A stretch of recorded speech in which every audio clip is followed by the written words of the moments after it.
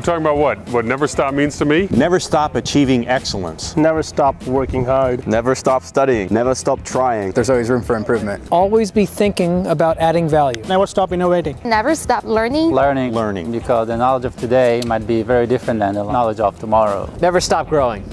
Never stop meeting new people. Never stop doing the right thing. Never stop exploring yourself. Whatever obstacles are in your way, Work hard. And never stop striving for your goals. Those times you feel most discouraged are the times you need to press forward. I hope that this school never stops growing. I hope that it never stops rising in terms of reputation and its impact. And I hope it's far greater in a few years than what it is today.